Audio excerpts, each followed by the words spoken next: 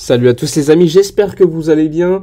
Alors dans cette vidéo on va revenir sur le match assez rapidement euh, d'hier contre City, même si c'était un match amical et sur toutes les informations euh, qui découlent euh, de cette soirée et parce qu'il y a eu des conférences de presse notamment de Guardiola, de Soriano, de Xavi, etc. Alors on commence.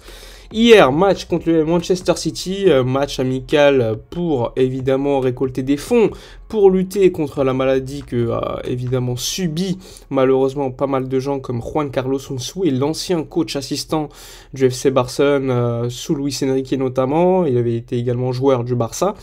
Donc euh, lors de ce match, on a vu donc Manchester City et le Barça récolter pas mal de fonds. Hein. Tous les revenus issus des tickets, etc., allaient pour lutter contre cette maladie. La diffusion du match était également offerte par Mediapro et TV3, donc la chaîne catalane. Donc le Barça et City ne payaient pas la diffusion du match, c'était offert. Donc ça c'était encore une fois une magnifique chose organisée hier. On a pu voir des rencontres entre certains malades et certains joueurs vraiment euh, au top. Le au top, le public a été au top également. On a pu voir donc un beau match de football, même si évidemment c'était pas la même intensité. On a vu des grands joueurs, on a vu en première mi-temps notamment euh, la titularisation d'une attaque comme Aubameyang, euh, avec encore une fois évidemment pas mal de joueurs sur le banc comme Lewandowski qui n'est pas rentré du tout, il y avait Pedri qui n'est pas rentré du tout, on a vu Haaland en seconde mi-temps, on a vu euh, mm, Kevin De Bruyne également rentrer, globalement une belle équipe de City avec Bernardo Silva qui était très attendu, qui a joué une heure. On avait aussi Frankie de Jong en face qui était titulaire. On a vu Busquets, Sergi Roberto. Enfin bref, franchement au niveau des joueurs sur euh, le prêt, c'était quand même plutôt pas mal. On a vu quasiment tous les grands joueurs des deux équipes. Évidemment, on n'a pas vu euh, Cancelo titulaire, même si on l'a vu rentrer en jeu. On n'a pas vu Lewandowski et Pedri, c'était seul euh, bémol de la soirée, mais peut-être parce que le Barça compte évidemment sur, euh, sur eux, tout comme pour Araujo et Dembélé. Donc euh, pour revenir sur le match, moi j'ai bien aimé assez rapidement les perfs, notamment de Sergi Roberto, même s'il est responsable à mon avis sur un des deux, sur le deuxième but je crois de City, de Palmer. Globalement, il y a eu 3-3, je le rappelle. Globalement, il a fait un bon match. J'ai bien aimé la perf de Busquets, de Frankie de Jong également, qui ont été dominants en première mi-temps. Même si à la seconde mi-temps, on a vu un meilleur contrôle de balle de la part de City. On a bien terminé. On a vu un but euh, également de Memphis de Paille. Obama a marqué. Obama, lorsqu'il a marqué en première mi-temps, lorsqu'il est sorti ensuite, on a vu clairement que ça, ressemblait à quand même des adieux. Euh, malheureusement. Euh, on a vu également côté City, magnifique but de Palmer. On a vu magnifique but aussi euh, de, euh, suite à une erreur d'Iñaki Peña qui avait fait un, bon match globalement et s'est bien rattrapé ensuite. Une grosse erreur de main, c'était Julian Alvarez qui avait failli signer à Barcelone d'ailleurs. Première mi-temps, c'est lui qui avait marqué. Et à la fin du match, il y a un penalty euh, transformé par Marez ou Haaland, hein, on va dire clairement, simule. Mais bon, l'important c'était pas ça, l'important c'était aussi de voir aussi Koundé qui a commencé son match. Qui a été très bon avec le ballon, sans ballon parfois en seconde mi-temps, on le voyait se faire un peu prendre, mais globalement, bon, c'était un match de reprise pour lui, on va pas trop juger. Euh, Eric Garcia était présent, j'ai pas mal aimé aussi, Rafinha, etc., etc.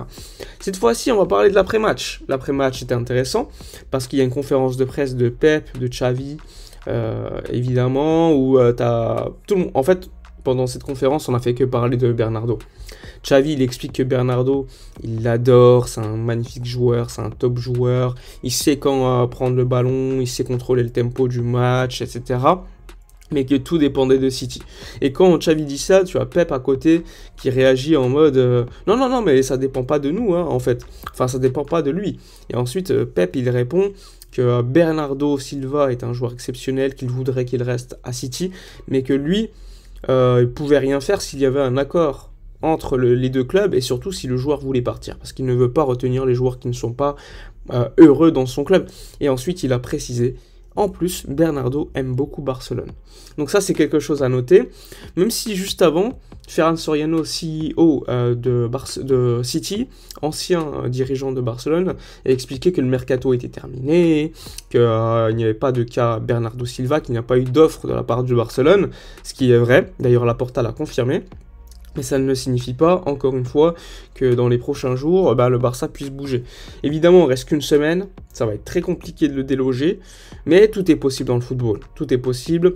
Il y a une différence entre la communication publique et ce qui se fait derrière. On sait très bien que euh, City, s'ils veulent vendre Bernardo, enfin s'ils le vendent, ils vont pas dire publiquement que c'est possible. Ils vont déjà euh, trouver un accord avec un autre joueur pour que ça se fasse pas trop cher, parce que sinon tout le monde va savoir qu'ils ont beaucoup d'argent pour signer le remplaçant de Bernardo Silva. Donc ça aussi c'est à noter. Rappelez-vous, à Koundé, tu avais Séville qui disait qu'il n'y avait rien. Rappelez-vous Rafinha, pareil, et finalement ils sont tous venus. Donc ça évidemment, va falloir patienter, et ça peut se passer très vite. On a vu également hier, concernant Memphis Depay, que euh, la Juventus a finalement choisi euh, Milik, le joueur de Marseille, donc une porte se ferme pour Memphis. Néanmoins, Memphis, s'il a eu des prétentions salariales plus élevées qu'au départ, c'est parce qu'il a une offre d'un autre club. Certains parlent de Manchester United, d'autres parlent d'autres clubs. C'est compliqué de savoir pour l'instant, mais euh, au jour où je vous parle, le départ de Memphis Depay est beaucoup moins proche que c'était le cas il y a encore quelques jours. Donc on va patienter. D'autre côté, euh, Aubameyang, ça se rapproche d'un départ. Le Barça a demandé 25 millions d'euros plus 3 millions d'euros de bonus à Chelsea pour clôturer le deal Aubameyang à Chelsea. Et ça pourrait se faire donc lors des prochaines heures. Donc à suivre pour euh, le Gabonais qui pourrait être de, retour en Première Ligue après 6 mois en Liga où il a quand même pas mal montré de choses positives. Donc globalement au niveau des informations, nous y voilà. Il y a eu l'officialisation ce matin de Samuel Umtiti qui part en prêt à Lecce en Italie. Donc c'était attendu, annoncé depuis quelques jours euh, sur la chaîne. Euh, un départ où le salaire sera de base payé par le Barça. Néanmoins, une petite partie du salaire sera payée par Lecce et des pourcentages euh, en plus de bonus seront payés par rapport au nombre de matchs qu'Umtiti joue. Donc si Umtiti joue par exemple, je sais pas, 40 matchs, eh bien Lecce paiera plus euh, que prévu son salaire. Donc ça c'est assez intéressant pour euh, la masse salariale. Ensuite, on s'attend donc au niveau des départs comme je vous l'ai dit, à potentiellement un départ de Braithwaite, même si c'est compliqué. D'ailleurs, c'était le seul joueur avec Umtiti qui n'était pas convoqué pour le match d'hier. On a vu Dest rentrer, donc lui, pour l'instant, probablement, il va rester. Donc à droite, je pense pas qu'on aura de recrues. À gauche, potentiellement une recrue, mais ça va être encore une fois très short avant la fin du mercato, donc il faudrait que le Barça se bouge pour signer quelqu'un. Marcos Alonso s'est refroidi assez largement. Donc je ne sais pas. Pour l'instant, on ne sait pas au niveau des latéraux qui va venir. Mais on sait qui va partir. Aubameyang, qui est très probablement proche d'un départ. Sinon, bah, au niveau des informations, on a fait le tour. Pas beaucoup de choses à s'attendre au niveau des arrivées. On peut être surpris concernant Bernardo. Mais sinon, globalement, on attend encore le départ d'Aubameyang pour inscrire Jules Koundé pour le match contre Valladolid de ce week-end. Enfin bref, dites-moi dans les commentaires ce que vous avez pensé de tout cela. Ce soir, tirage au sort de la Ligue des Champions, je ferai une vidéo supplémentaire. Euh, comme d'habitude, n'hésitez pas à donner votre avis dans les commentaires, à liker, commenter, partager. Je vous dis donc à la prochaine et d'ici là, comme d'habitude, portez-vous bien.